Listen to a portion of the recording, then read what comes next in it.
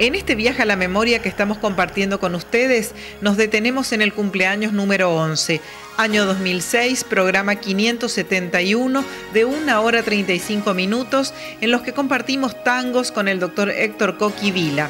La presentación de su trabajo Corazón al Sur que se realizó en Café del Sol. Fue un disfrute doble, buena música y los placeres gastronómicos del chef Alfredo Campos la promoción 1956 de la Escuela Normal Dr. Juan Pujol, que cumplía sus bodas de oro, compartió un té horas previas al viaje a Salta en la casa de Elda a Ignace de Varela.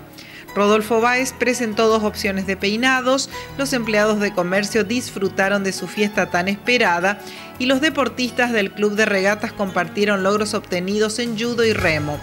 Iniciamos un nuevo segmento, el de historias para contar, que en breve retornaremos.